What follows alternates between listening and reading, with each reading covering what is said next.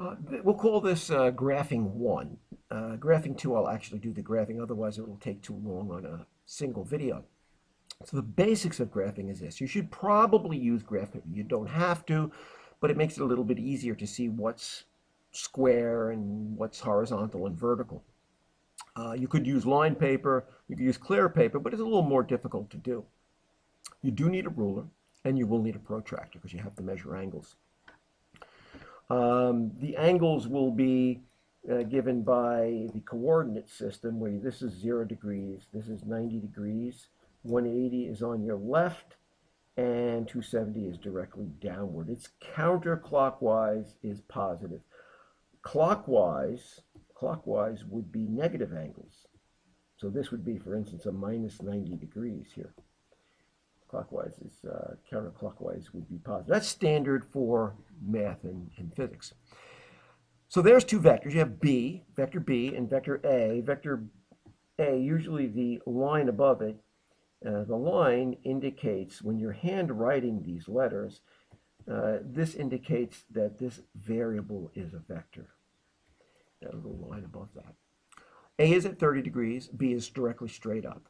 So we want to add them together.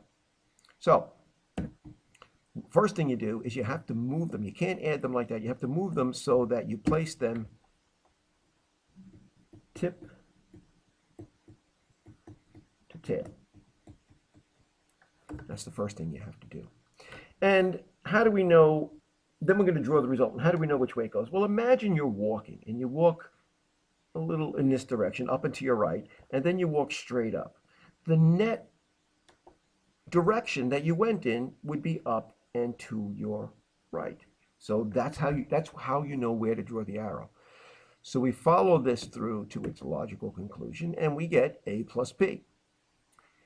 a plus b points up and to your right. That's called the resultant.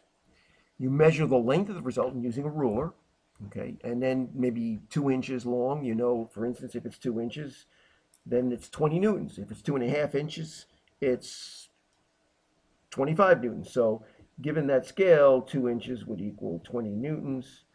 2.5 inches would equal 25 newtons. That's essentially it. Or whatever units you're measuring in, pounds, meters per second, meters per second squared. And then you measure the angle of the result. Now the angle, that's a little trickier. The angle is always going to be measured from zero degrees. This is the angle. There's the angle you want from zero degrees. So that looks like it's going to be, you know, 60 degrees or something like that. You do not measure this angle. That's wrong. Wrong. You do not measure this angle. That's wrong. You do not measure this angle. Wrong. You measure the angle from zero degrees like that. Uh, this is not addition. When you place them, this is tip to tip. No good. No good. Tail to tail. No good. No good.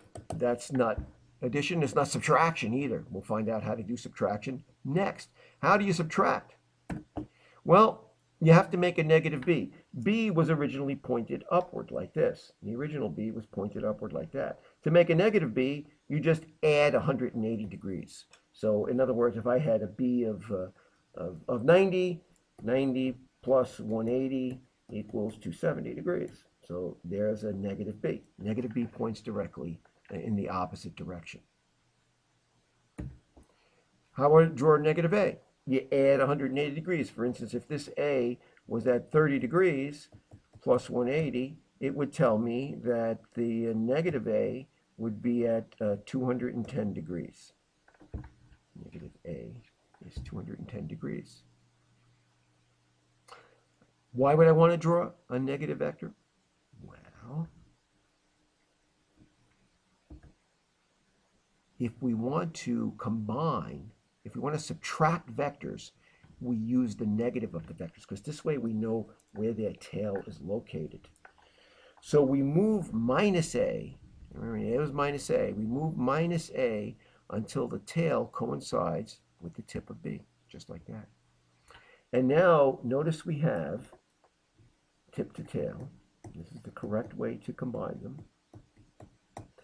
and we have minus a. So in other words, the object went north, then it went kind of southwest, and the net direction of its motion was in that direction. So that's how I know how to draw the arrowhead. And that's b plus a minus a, which is actually equal to b minus a. So that's how we can subtract vectors too. We have to form the negative vector first, and then we subtract it.